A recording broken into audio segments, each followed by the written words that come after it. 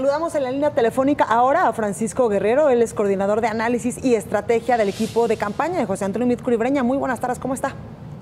Hola Blanca, mucho gusto. Un saludo a todo el auditorio y también un saludo a esto. Gracias por esta comunicación. Cuénteme un poco, eh, pues, ¿qué le pareció el debate del día de ayer? Y vemos que hoy, eh, pues, su candidato, pues, presenta ya estos documentos de lo que le reprochaba el día de ayer a Andrés Manuel López Obrador respecto a sus departamentos. Mira, eh, primero yo coincido con el jefe Diego que me antecedió.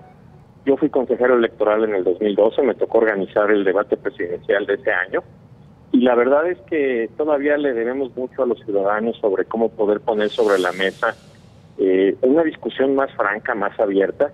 Y tú te das cuenta, los candidatos tuvieron alrededor de 18 minutos para poder explicar su estrategia en materia de corrupción, de seguridad y de apoyo a los grupos en estado de vulnerabilidad sería muy bueno y yo creo que sería algo fabuloso que los candidatos pudieran debatir semanalmente. Y coincido también en que sería muy positivo que en lugar de tantos spots pudiéramos tener debates. Yo creo que, como decía Luis Ronaldo Colosio, no hay nada mejor que la democracia por discusión. Ahora, ya llegando al fondo del tema, el José Antonio, mucha gente no lo conocía, como tú sabes, como ustedes saben, eh, de manera totalmente ilegal, Andrés Manuel López Obrador se apropió de más de 3 millones y medio de spots. Lo mismo sucedió con Ricardo Anaya, que se robó su candidatura en el PAN, se robó alrededor de un millón y medio de spots siendo candidato, incluso ayer salió en el debate. Y es la primera vez que Pepe, que Pepe, que Pepe puede tener la oportunidad de comunicarse de manera directa con los electores.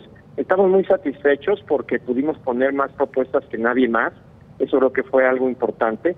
Eh, en si bien hay gente que tiene habilidad oratoria, yo creo que Ricardo Anaya es un buen merolico, hace bien su trabajo como merolico, pero ya si lo pones en términos de las propuestas y de las discusiones, pues quedó mucho a deber y Andrés Manuel se vio como lo que es, un candidato avejentado con pocas propuestas y la verdad a la defensiva, yo creo que el Bronco lo puso en, en entredicho varias ocasiones porque pues simplemente se escondió y así como salió el debate casi a escondidas, así se la pasó todo el debate. Perfecto. Francisco Guerrero, coordinador de campaña de José Antonio Mitcuribreña, gracias por esta comunicación para Bitácora Política.